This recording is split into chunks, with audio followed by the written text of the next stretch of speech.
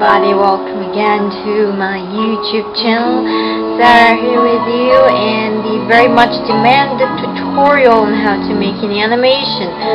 Um, the whole idea behind this animation is that uh, I was thinking of making something like your Zinga's movie, but it's not going to be something animated. All I'm going to do is just actually putting all my episodes together and then you know like one big chunky episode like a movie. And um, I'm kinda editing it you know. Uh, here's the very dramatic intro. But anyways I was just giving you a look on the idea of, of the animation itself. So I will show you all the first steps you need to do to make an animation like this. Okay, so this is like the amount of images. You can see this is the amount of paper um, that I drew all of my images on here.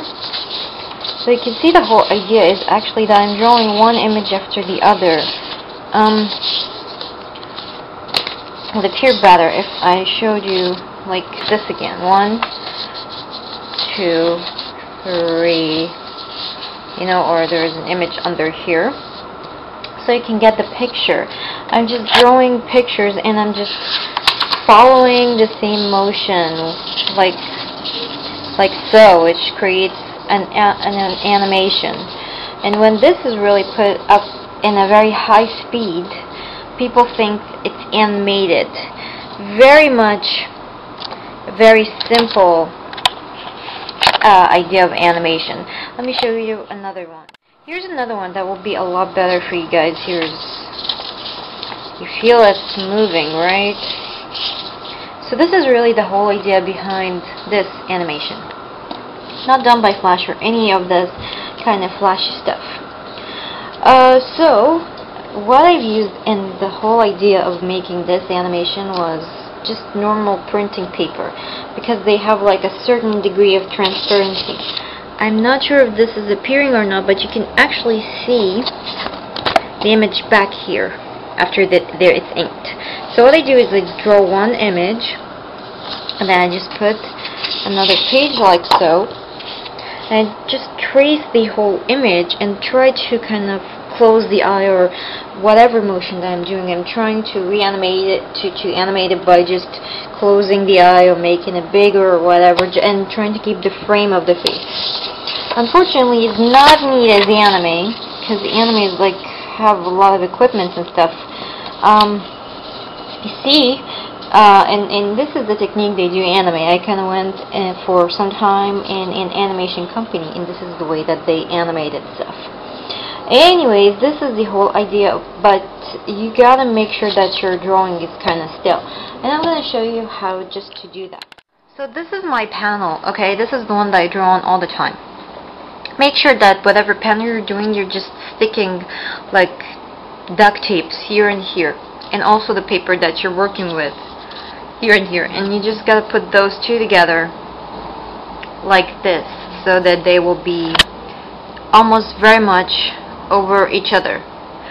Uh, so when you're tracing and stuff like that, uh, the whole idea behind duct tapes is because when you're tracing, you want your paper to be still above under. Um, so the paper that's under, which is already inked, wouldn't like move a lot and so like that. Oh, the whole reason why I did the whole idea of the frame is because when I scan my pictures, um, I want to make them as equal as possible. The whole idea of making the frame, I don't want to like draw the whole image or draw the whole page. It's just gonna take a lot. So what I'm doing is I'm actually drawing a part and ignoring the rest. And so if I'm using paint or to cut the extra parts here or here or here, um, I wouldn't like be wondering what parts that I need to cut. I already have lined it from the beginning, so I know what I'm gonna cut and I know what I'm gonna take. Mine may be like a little difference, like couple of millimeters difference but that's all. Um, when you're scanning there will be like a frame that will appear. I normally would like take the frame around this line and just cut the image the way I want it or the way that I framed it. And then I have my image and of course you have to number your drawings because uh, very much is important so I'm sorry um you just have to number your images so you know which one is like one the first one or the second one just putting a number is very helpful Okay, after scanning the images and cutting them to whatever size you want, you're going to have them like in a folder or something. Here's all your images. That's the one that you've used. Um, so here's an image. If I go like I'm going like forward and stuff, forward and backward, you can see actually the whole idea behind the animation. One, two, three. So as you can see, as it goes faster, it starts to animate uh, and it creates this kind of animation feeling. So this is the time when you have to use like the movie maker. Let me just import some pictures and I'll show you how to do that.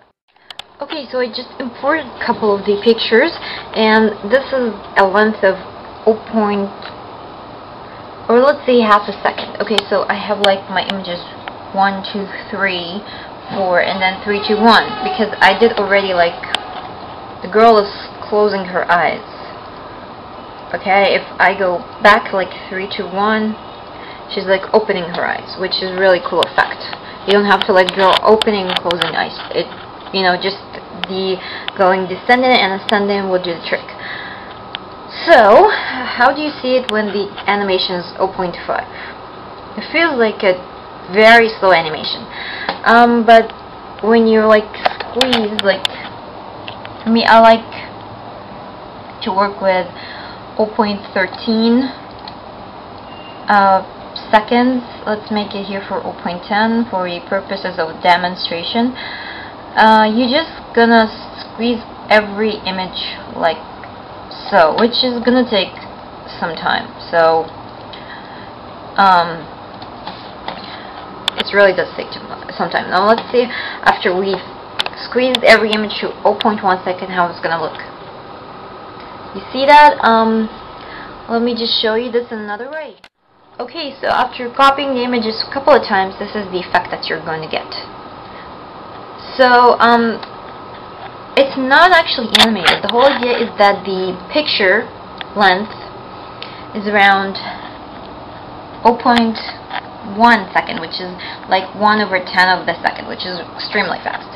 Uh, which create the whole idea behind this animation. In Vista, the minimum length is 0.07 and XP's is 0.13 seconds both of them creates that kind of illusion. My animation was, I did it on 0.13 seconds, so every image is like stayed for 0.13 seconds. Uh, you can squeeze it, you know, but the like 0.7 I tried it, it's extremely fast, it just looks weird. It doesn't look like an animation, it looks something else. Um, but this is, anyway, the same way of drawing classic animes. All the animes, all the 2D animations is done like this, unless you're working with Flash, which is something something else. Um, it's kind of a 2D animation, but it's not exactly the normal or the traditional 2D animation that people are working with. I think a lot of people liked it because it was all drawn on hand from top to bottom and animated by the movie maker, which will make it for people who are actually good at drawing and good at movie maker will be extremely easy for them to do just um, movies like this. But I gotta tell you, this thing takes a long time I did a lot of repetitions in my uh, in my animation because um, if I would do it like from top to bottom complete you know or if I did it like every scene with a certain look it would definitely would take more time than this so I, I told I maybe this took for me more than 10 hours in complete and that's really long for just a 30 second animated, which is not even colored. Um, even I gotta tell you, the coloring does take a lot of time. That's why I'm sticking to sticking just to inking.